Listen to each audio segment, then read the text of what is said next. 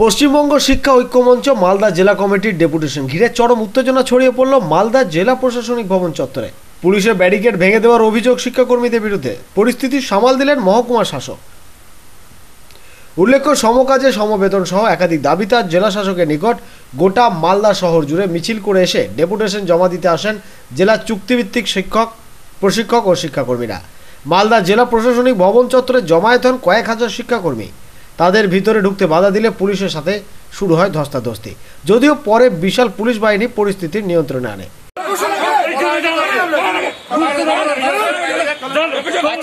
হয়ে গেছে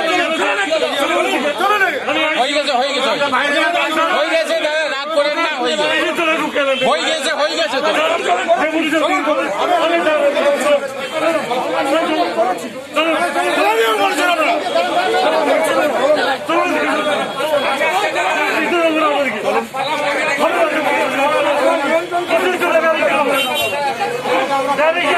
কোথায় কন্ট্রোল করছ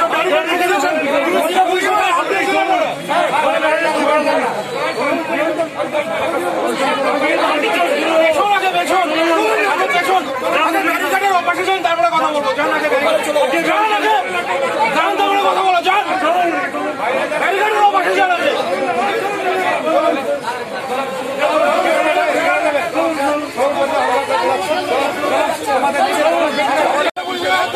কোথায় এই কোথায় হলো কোথায়? মাইকটা সিজ করো। মাইকটা নিয়ে যাও মাইকটা নিয়ে যাও। চলুন দেখি কি করছে? দাও মাইক নিয়ে যাও। এই মাইকটা সিজ করো। এই কালাবাটি কই?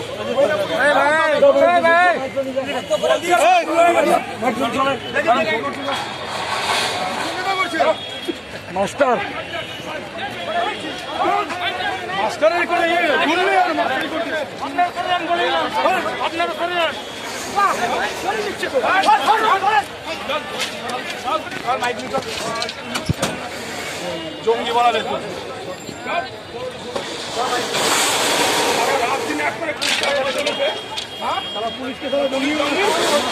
মাস্টার শিক্ষা দেবে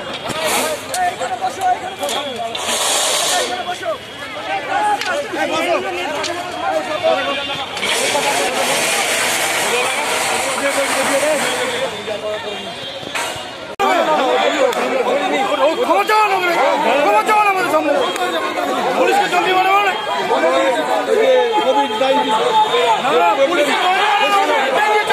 উল্লেখ্য, পশ্চিমবঙ্গ শিক্ষা ঐক্য মঞ্চে ডাকে এগারোই জানুয়ারি নবান্ন অভিযানের ডাক দেওয়া হয়েছে। তারই অঙ্গ হিসাবে আজ প্রতি জেলায় এই সংগঠনের উদ্যোগে জেলা শাসকের মারফত মুখ্যমন্ত্রীর কাছে দাবি দেওয়া পত্র তুলে দেওয়া হয়।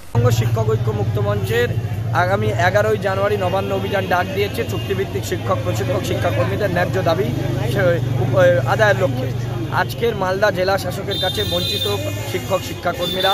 মালদা জেলার তারা আজকে ডেপুটেশন দেবে এবং গোটা রাজ্যের বাইশটা জেলা শাসকের কাছে প্রত্যেক দিন পরপর কেন্দ্রীয় নেতৃত্বের উপস্থিতিতে ডেপুটেশন কর্মসূচি চলবে। তার উদ্দেশ্য একটাই যে আগামী এগারোই জানুয়ারি এই বৃহত্তর শিক্ষক যে জোট মহাজোট সে তিন লক্ষ শিক্ষক, শিক্ষিকার জোট নবান্ন অভিযান কর্মসূচি নিয়েছে। আপনার নাম, আপনার পরিচয়?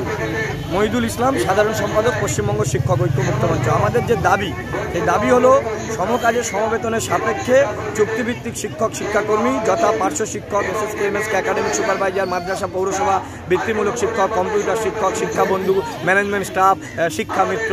এই সমস্ত চুক্তিভিত্তিক শিক্ষক, শিক্ষাকর্মীদের তাদের সমকাজে সমবেতন এবং নির্দিষ্ট বেতন কাঠামো দিতে হবে এবং অন্য সরকারি কর্মচারীর মতো তাদের পেনশন দিতে হবে এবং অবসরকালীন বেনিফিট দিতে হবে। এছাড়াও অন্যান্য দাবি আছে। আমরা নটা দাবি নিয়ে আজকের মালদা জেলা শাসকের দপ্তরে অভিযান করব এবং তার সঙ্গে বলি, মাননীয় মুখ্যমন্ত্রী পার্শ্ব শিক্ষকদের ক্ষেত্রে প্রতিশ্রুতি দিয়েছিলেন বেতন কাঠামো এবং স্থায়ীকরণ এবং অন্যদের ক্ষেত্রেও একই প্রতিশ্রুতি এবং দশ হাজার অনুমোদনহীন মাদ্রাসার কথা বলেছিল কিন্তু আজকের পর্যন্ত সেই প্রতিশ্রুতি রক্ষা করেনি। ফলে ডিএম টু সিএম এর কাছে আমাদের স্মারকলিপির মাধ্যমে যাতে মাননীয় মুখ্যমন্ত্রী তার প্রতিশ্রুতি পূরণ করে সেই ব্যবস্থা। মালদা থেকে দেবু সিংহ, আনন্দ বার্তা।